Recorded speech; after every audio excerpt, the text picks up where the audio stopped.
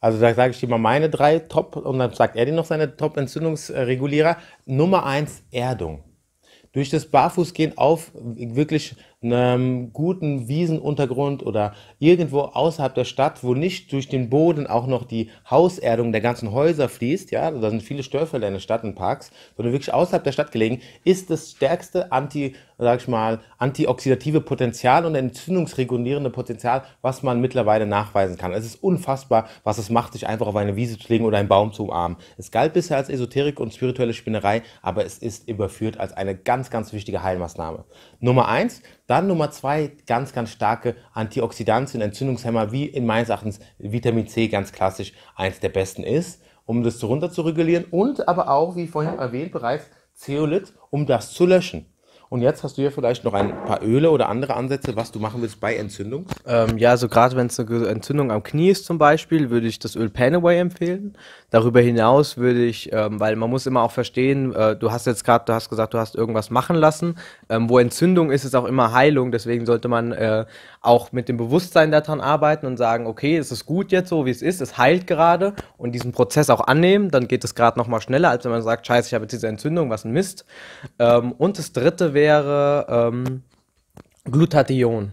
Ähm, auch ein sehr, sehr starkes Antioxidant, was viel in rohem Spargel enthalten ist zum ah, Beispiel. Ah, und aber auch in hohen Dosen. Oh, ja, oder natürlich auch Weizengras. Ich würde am besten gleich da hochgehen und mir einen Weizengras-Shot sichern. Sehr, also sehr praxisnah, sehr guter Tipp. Haben wir auch heute schon gemacht. Mehrere Weizengras-Shots da oben zu trinken, ist die optimale Lösung. Ja? Ich habe übrigens wieder eine 10er Flat geholt. Sehr gut, sehr gut.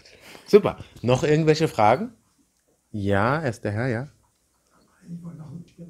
Das kann man so oder so sehen. Das kommt halt darauf an, in welcher Situation du dich befindest. Heutzutage sind wir umgeben von unglaublich vielen Schwermetallen, die noch gar nicht so ins Bewusstsein gerückt sind. Ich mache jetzt seit ähm, drei Jahren Bioscans. Das heißt, ich checke Leute durch und habe jetzt 2000 Leute gescannt. Und eigentlich original jeder hat eine Schwermetallbelastung. Blei, Cadmium, Arsen, Aluminium und ganz schlimm Quecksilber. Und um das zu binden, ist die Chlorelle einfach besser. Die hat ganz bestimmte äh, Entgiftungsprinzipien, Gelatbildner. Gelatbildner, die dabei helfen, diese Gifte auszuleiten. Die hat die Spirulina auch, aber in viel geringeren Dosen. Und die Spirulina ist laut NASA das für den, Messen, für den Menschen am besten geeignete Lebensmittel der Welt. Ich bin auch ganz großer Freund von der Spirulina, esse sie auch jeden Tag. Aber wenn ich mich beschränken sollte, Spirulina oder Chlorella, auf die heutige Zeit würde ich vielen Leute, die noch nicht in ihrer vollen Kraft sind, entweder beides empfehlen oder zuerst die ähm, Chlorella.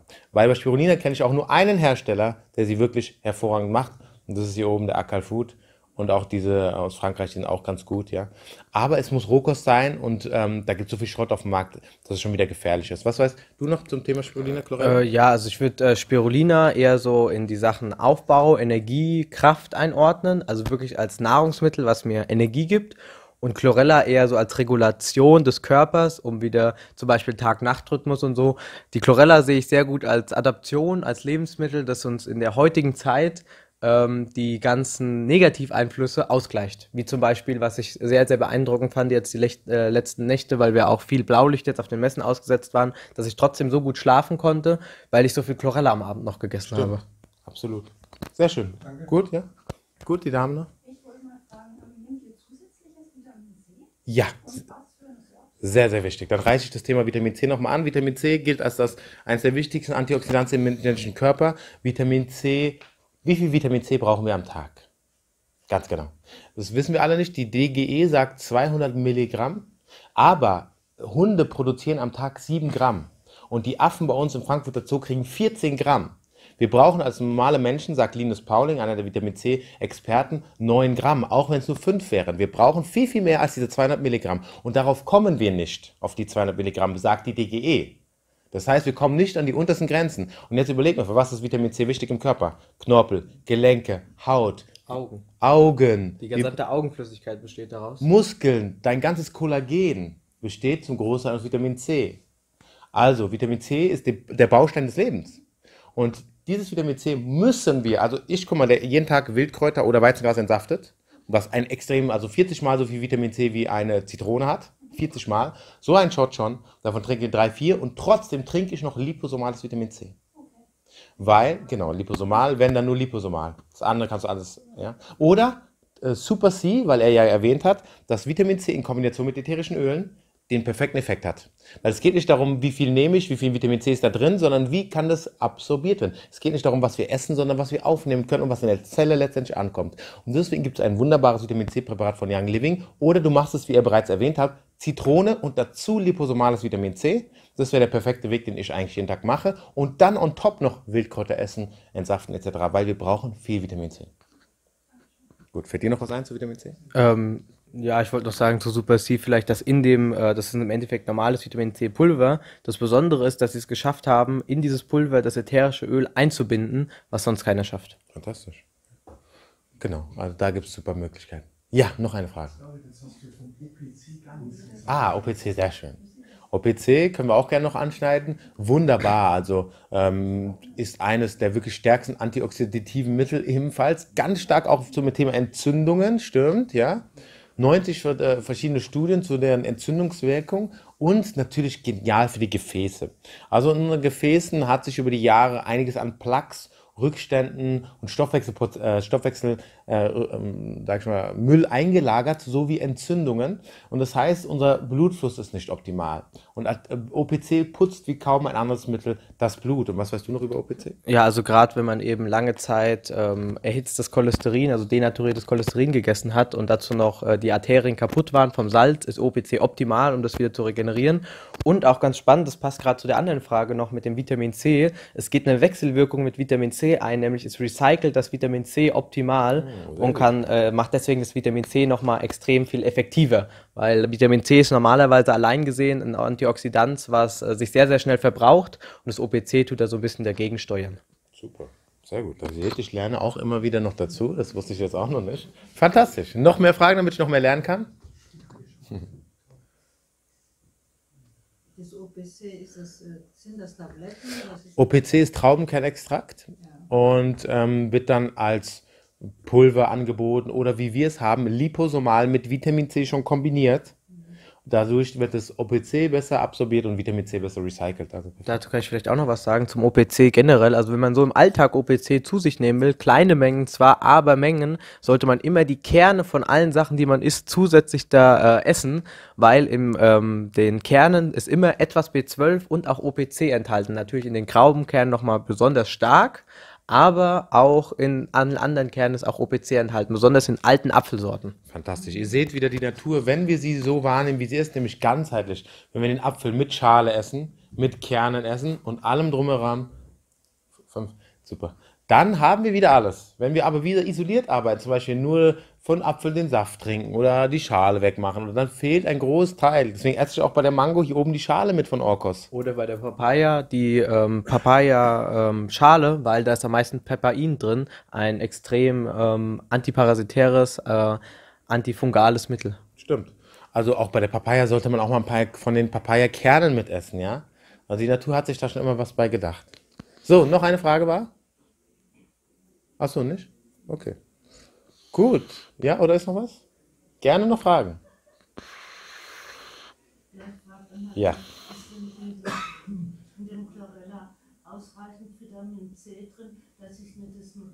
Nein, also das ist das Einzige, wo Chlorella nicht genug hat. Vitamin C ist das Einzige, was zusätzlich unbedingt, also es ist Vitamin C drin, auch noch mehr als in allen in vielen Lebensmitteln, von denen wir meinen, sie hätten viel lieber Vitamin C, aber nicht genug, um den täglichen Bedarf zu decken. Unbedingt noch Vitamin, ja, unbedingt Vitamin C zuführen. Ganz, ganz wichtig. Ja. Gerne. Wunderschön. Sehr gut. Also zwei sehr effektive Sachen sind MMS, Chlordioxid. Schon mal gehört? Also MMS ist ein Mittel, eine Zauberformel, die Jim Humble entdeckt hat, die eigentlich auf alle sage ich mal, Bereiche des Körpers wirkt, indem es dort Sauerstoff hinbringt. Und vor allem solche Geschehen haben oft mit Verpilzung im Darm zu tun. Und diese Pilze verursachen Gärung und Fäulnis und Säure. Und dieses MMS geht genau dahin, wo Säure ist und wirkt selektiv nur da, wo Säure ist und bringt da Sauerstoff hin und zerstört es und zerstört auch Pilzstrukturen. Also von innen super. Darf ich hier aber nicht jetzt empfehlen, weil es ist verboten. Ja, aber ich mache das so. Ich trinke MMS oder CDL heißt das. Das ist schon eine Chlordioxidlösung. Äh, schmeckt unglaublich nach Chlorwasser, aber unheimlich effektiv. Äh, von innen, ja. Und von außen unbedingt basische Bäder. Ganz wichtig. Und basische Langzeitbäder. Ab einer Stunde fängt die Haut sich an zu öffnen. Ab drei die tieferen Hautschichten, ab vier, fünf die Organe. Also vier bis, eine bis vier Stunden mindestens in der Badewanne bleiben. Dazu auf 120 Liter, so wie eine Badewanne klassischerweise ist, ein Kilo Natron. Ein Kilo. Und dann hochschwingende ätherische Öle rein. Und vielleicht hat er auch noch zwei Tipps. Ähm, ja, also vielleicht fangen wir nochmal bei den Grundlagen an. Zum Ja. Beispiel Pflegemittel ähm, ist ganz wichtig, die Chemie wegzulassen. Ähm, also nichts aus dem, wirklich nichts aus dem Supermarkt. Das ist, wenn da Bio draufsteht, nichts aus dem Supermarkt. Und ähm, am besten hier oben beim Labité, der hat da eine wunderbare Creme, die nur aus Shea-Butter und ähm, Mineralasche besteht. Und diese Mineralasche versorgt dann gleichzeitig noch die Mikroflora unserer Haut, weil es ist eigentlich nur ein Umkippen der Mikroflora, dass sowas überhaupt entstehen kann. Ähm, sobald die Mikroflora nicht mehr probiotisch ist, sondern antibiotisch, dann entstehen Pilzstrukturen. Und durch die ähm, Mineralien, äh, Mineralien können wir ähm, die guten Bakterien wieder füttern und wieder eine gute Hautflora aufbauen. Fantastisch. Ja, also wieder ursächlich rangehen und der Haut die Möglichkeit geben, sich selbst zu helfen, indem man ihr die Nährstoffe gibt und eine Flora darauf ansiedelt, wie im Darm. Also sowohl als auch und deswegen auch Probiotika für die Hautprobleme. Die Schärflaume zum Beispiel hier vor oben hier Oh ja. haben wir gerade wieder gekostet und uns lang mit der äh, Chefin unterhalten. Ein hervorragendes Mittel. Und wir haben sie gestern auch ausprobiert und ähm, ich glaube, ich habe zwei oder drei gegessen gestern und man hat es schon gut gemerkt. Ja. ja eine fermentierte Pflaume gibt es ja auch hier oben zu bekommen. Ich, ich wollte das die Pflaume heute nicht verstanden. Ah, genau, Share, ja? S-H-A-E-R-E. Share wie teilen. Vorne, wenn man hochgeht, ganz hinten, letzte Reihe. Super. Dann bedanke ich mich ganz herzlich für die, die Aufmerksamkeit, die ihr uns geschenkt habt. Und ich hoffe, ihr seid sehr zufrieden mit unserem Vortrag. Vielen Dank. Danke fürs Zuschauen. Und wenn ihr Lust auf mehr Gesundheit bekommen habt, besucht uns doch in der Rokosteria in Frankfurt. Lasst euch kulinarisch verführen und geschmacklich verzaubern. Macht einen Bio-Vital-Scan und wir stellen euch einen individuellen Ernährungsplan zusammen, der genau an eure persönlichen Bedürfnisse angepasst ist und auch nur die speziellen Superfoods enthält, die ihr auch wirklich braucht. Schaut euch einen unserer Videokurse an oder bestellt euch einen roh-veganen Ernährungsplan, um noch mehr Energie in euren Alltag zu bringen. Wir haben euer Interesse geweckt. Lest am besten eins meiner Bücher für noch mehr Hintergrundinformationen. Ihr wollt loslegen? Startet am besten morgens gleich mit frischem, basischen Aquionwasser und geht euch draußen an der frischen Luft ein paar Wildkräuter sammeln, die ihr dann in eurem Angel Juicer entsaftet. Genauso könnt ihr auch frisches Weizengras nehmen, das wir bei uns in der Rohkosteria anbauen. Treibt Sport in Parkanlagen oder Wäldern und nutzt unser Magnesiumspray, um euch nach dem Duschen mit noch mehr Energie aufzuladen.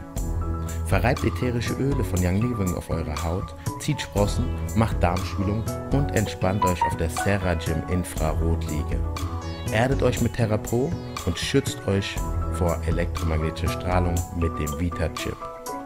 Fahrt zum Blue Room nach Weimar und macht Rohkosturlaube in den Tropen mit uns und unserer Crew.